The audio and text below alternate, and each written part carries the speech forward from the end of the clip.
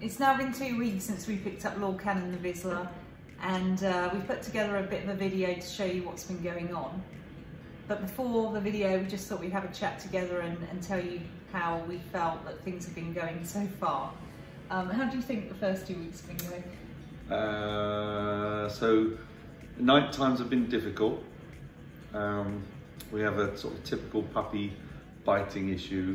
Um, Vizslas seem to sound like foxes when they're screaming, be it daytime or at night. And there's certainly been a lot of issue with um, being crated and, um, and, and not being with us. So that's been a bit of a problem, especially at night. Yeah, absolutely, at night, definitely. So biting and sleep. I think there's been, there's definitely been periods where I thought, you know, what have we done, to be completely honest. Um, there's times I've got in the shower and just cried and thought, oh my God, is this ever going to end? Because um, he's been so difficult at night. I think it's been, well, every night now for two weeks. We've been awake most of the night with him. Um, he hates being in the crate. He hates being away from us and he will literally scream um, if you're away from him for more than 10 seconds. Uh, so that's definitely been difficult, hasn't it? Yep. Um, and then about a week in, he started biting us, like properly biting. He's only playing, but it does actually hurt. And we sort of researched it, and a lot of people said don't say no. Um, a few people said say ouch, that doesn't work either. Um, and then just ignore them and walk away, which is it's easy to do um, to walk away, but then he sort of attached to our ankles and he would sort of follow us and continue biting. Um, so we've sort of managed that bit by getting a playpen, and when he's been biting um, like really hard, we put him in the playpen for a few minutes um, for him to calm down. And we've realised that when he is biting and he's going a bit crazy, it's because he's tired. And we've, we sort of now, we're putting a limit on if he's awake for an hour, that's it, he needs to have a sleep because it seems like an hour is kind of his maximum. Um, and then he's exhausted, isn't he? So we've really tried to, um, you know, put him to sleep after an hour and, and that's definitely helped. Got him in bed and uh, we put it in the playpen in the day and after about five minutes he's, he settles and then goes to sleep so that's definitely made things a lot easier. I don't yeah I don't think it helps if you're with COVID and everyone's at home and, and you're constantly you know if he's in the room you're constantly doing something with him or you know stimulating his brain to not sleep. Seems he has calmed down. He, he's definitely calmed down, absolutely. I think he was just definitely overstimulated, exhausted, and then he would be frustrated and then bite. So you know, that's definitely helped making him, you know, have a sleep sort of every hour. He's a lot calmer now. Um, but obviously obviously still keeping us awake at night. I think the first week it was literally every hour, wasn't it? And we, we slept next to him um, on the sofa for the first night. And then we moved him into our utility room because that's going to be his, his bedroom. And I think we slept on the floor with him for a week. And then in the end, we kind of thought, you know, it's, it's just ridiculous. You know, we haven't been in our bed for a week. Mm -hmm. And uh, yeah, time. both at the same time. So um, we decided that was it. You know, he, when he went in his crate, we let him cry and, and go up and get into bed. And it's definitely got better. You know, whereas before it was every hour, and now he's sort of going to sleep at sort of 10, 11, waking up about two, and then four, and then again at sort of six, seven, isn't he? Yeah, between six. So yeah, it's, it's definitely. It's just better. we could have done that a week earlier. Yeah, absolutely. Yeah. I think, you know, definitely some people said, oh, you shouldn't put him in the crate, you know, it's unkind. But if he wasn't in the crate, then he would be eating the walls and the doors. So, you know, there has to be sort of some limit. There's so much advice out there, but I guess you have to do what works for you.